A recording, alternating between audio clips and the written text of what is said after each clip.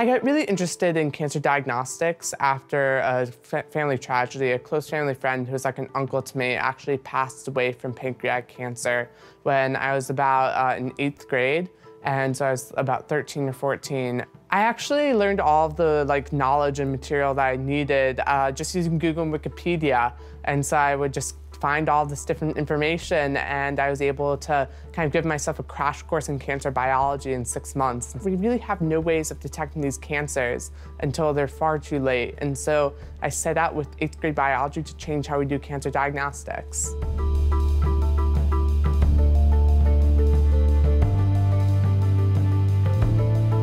So essentially what happens is it's made out of this carbon substance that I created and it will change its electrical properties based on the amount of a certain protein in your bloodstream. So what it does is you just take a drop of blood, you put it on the test strip, you wait five minutes, you measure the change in electrical properties, and you can instantly see whether or not you have the cancer. It's kind of like a diabetic test strip. It costs three cents and takes five minutes to run.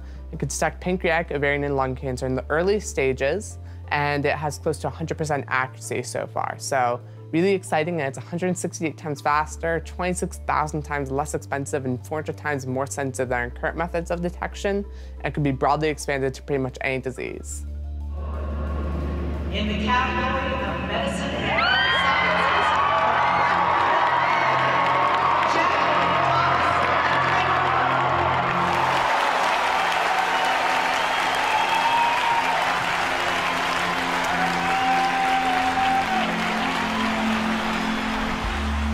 before the internet was born, I would have never been able to like come up with these ideas because you would have to go to the library and you'd have to read through all of these different books and maybe the book would be checked out and so you wouldn't have access to the same resources that we have today.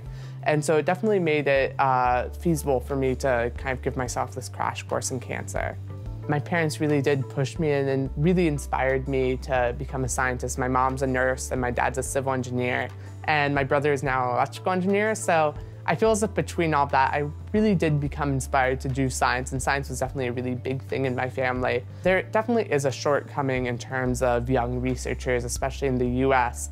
And I think we can attribute that to our culture where we kind of value all these other fields over science and portray science as this very dry field where it's just memorization and like spinning up facts and figures. And that's not what science is about. Science is all about using your curiosity and creativity to explore and improve the world around you.